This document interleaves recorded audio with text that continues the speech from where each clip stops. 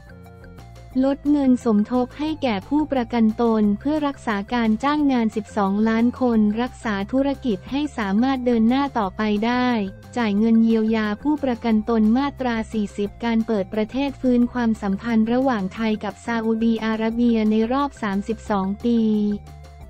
ซึ่งไม่มีรัฐบาลใดทำสำเร็จ มีเพียงในยุครัฐบาลที่พลเอกประยุทธ์จันโอชา เป็นนายกรัฐมนตรีเท่านั้น ซึ่งได้ไปเปิดประเทศเพื่อส่งออกแรงงานฝีมือไปทำงานในซาอุดีอาระเบีย นายสุชาติยังกล่าวถึงนโยบายขึ้นค่าแรงขั้นต่ำ 600 บาทของพรรคการเมืองหนึ่ง เป็นนโยบายที่อันตรายที่สุด โรงงานปิดตัวลง SME รับภาระต้นทุนไม่ไหวค่าครองชีพสูงขึ้น คนตกงานเพิ่มขึ้น เพราะภาคธุรกิจหันมาใช้เทคโนโลยีแทนกำลังคน ซึ่งเคยมีประสบการณ์ช่วงที่ขึ้นค่าแรงขั้นต่ำ 300 บาท ทั่วประเทศมาแล้วในปี 2554 การขึ้นค่าแรงขั้นต่ำต้องยึดมั่นในระบบไตรภาคี เพื่อให้เกิดความเป็นธรรมของเศรษฐกิจภูมิภาค GDP รายได้ต่อหัวแต่ละจังหวัดด้วย ไม่ใช่นโยบายค่าแรงที่มาจากนักการเมือง วิธีแก้ปัญหาต้องนำแรงงานมาฝึกทักษะ ฝึกอาชีพ เพื่อให้ได้ค่าแรงตามมาตรฐานฝีมือที่ได้ประกาศไปแล้วใน คณะรัฐมนตรีไปแล้ว 129 สาขาอาชีพที่น้องผู้ใช้แรงงานจะได้พ้นกับดักค่าแรงขั้นต่ำนายสุชาติยังกล่าวถึงสิ่งที่พัก รอทอสอชอจะทำเพื่อพี่น้องผู้ใช้แรงงานและพี่น้องประชาชนเมื่อกลับมาเป็นรัฐบาลอีกครั้ง อาทิ เช่น เพิ่มวงเงินบัตรสวัสดิการแห่งรัฐ หรือบัตรลุงตู่ให้กลุ่มผู้มีรายได้น้อยจากเดิม 300ถึง400 บาทเป็น 1,000 บาทต่อเดือน ผลักดันพรบประกันสังคม 3 ขอคืนเงินชราภาพผู้ประกันตนมาตรา 33 และมาตรา 39 จำนวน 30%เพิ่มเงินชราภาพอายุ 55 ปีเป็น 10,000 บาท เพิ่มเงินเลี้ยงดูแลบุตรจากเด็กแรกเกิดจนถึง 6 วบได้ 800 บาท ปรับเป็นเด็กแรกเกิดจนถึง 10 ขวบได้ 1,000 บาท เสนอให้มีโรงพยาบาลประกันสังคมเพื่อรักษาดูแลผู้ประกันตนกว่า 12 ล้านคน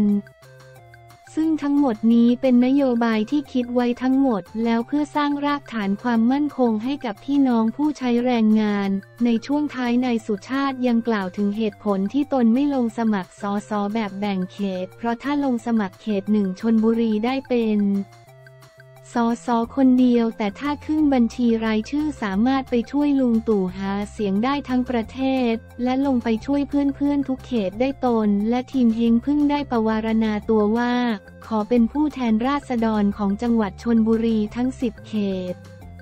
พร้อมเดินสายไปพบปะรับใช้พี่น้องประชาชนทุกอำเภอ พี่น้องชาวชนบุรีจะได้เห็นการเปลี่ยนแปลง ได้สอสอที่เป็นผู้รับใช้ประชาชนทั้งจังหวัดชนบุรี นายสุชาติกล่าวท้ายสุด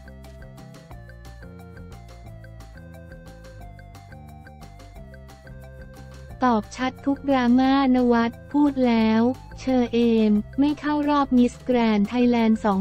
2023 ตอบชัดทุกดราม่านวัดอิสระไกรศีลพูดแล้วปม เชอเอม ไม่เข้ารอบมิสแกรนด์ไทยแลนด์ 2023 ลั่นน้องไม่ขอรับตำแหน่งเองเรียกว่าการประกวดมิสแกรนด์ไทยแลนด์ 2023 ยังไม่จบก็เกิดดราม่าสนั่นไปทั้งโลกโซเชียล เมื่อวันที่ 29เมษายน 2566 โลกทวิตเตอร์เกิดแฮชแท็กเครื่องหมายสี่เหลี่ยมแบนมิสแกรนด์หลัง เชอเอม ชยาธนุส สอนทัศน์ มิสแกรนด์ลำพูนไม่ขอผ่านเข้ารอบ 20 คนสุดท้ายในการประกวดมิสแกรนด์ไทยแลนด์ 2023 รอบตัดสินทั้งที่ก่อนหน้านี้เชอเอม เป็นตัวเต็งของการประกวดครั้งนี้ รวมถึงก่อนหน้านี้เชอเอมเพิ่งคลายคว้ามงกุฎขวัญใจเชียงใหม่ไปอยู่เลยขณะที่ PD มิสแกรนด์ลำพูนซึ่งเป็นจังหวัดที่เชอเอม ชนะการประกวดและเป็นตัวแทนจังหวัดเข้าชิงมงกุฎ Miss Grand Thailand 2023 ได้ร่อนจดหมายขอโทษณวัฒน์และแฟนนางงามที่เชอเอมไม่สามารถไปต่อได้ล่าสุด วันที่ 30 เมษายน 2566 ณวัฒน์ออกมาพูดชัดถึงปม เชอเอม ไม่ผ่านเข้ารอบ Miss Grand Thailand 2023 โดยณวัฒน์เผยว่าสำหรับเรื่องเชอเอมผมไม่มี comment นะครับ เพราะว่าผมทำธุรกิจและเรามาประกวดนางงาม เราไม่ได้มาคุยเรื่องอื่น จะตกรอบหรือเข้ารอบมันไม่เกี่ยวกับเรื่องอื่น มันเกี่ยวกับเรื่อง performance และสิ่งที่น้องต้องการหรือไม่ต้องการ เพราะเชอเอมเป็นคนปรารถนาที่จะไม่รับตำแหน่ง top 11 และไม่รับตำแหน่ง Grand Model น้องพิมพ์มาเป็นลายลักษณ์อักษร ซึ่งสำหรับองค์กรก็ไม่ได้เกิดปัญหาอะไร